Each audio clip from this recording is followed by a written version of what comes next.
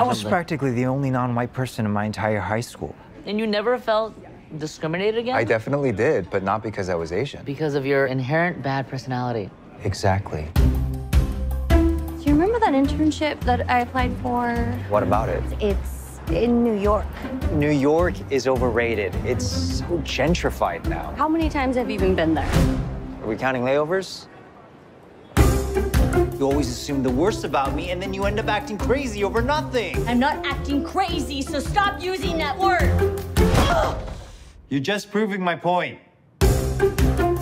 Are you two like broken up? We're taking some time off. While the cat's away, the, The mouse will play with himself, probably. Can I kiss you? Sorry, I'm a little out of practice. It's clear. I'm gonna go to New York. Listen, maybe you could come with me. I thought you came out here to clear your head. I did. And then I met Meredith, and I've been there ever since. So when are you gonna see her?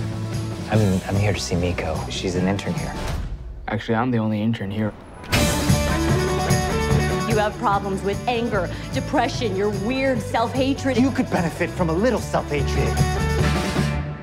Interesting.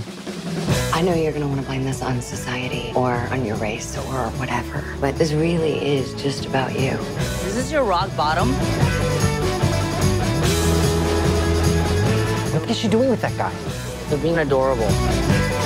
So we finally get to meet your mysterious boyfriend. Hello, Ben. Hi. Praise Jesus. Maybe just be honest with him. Is anyone sitting here? No.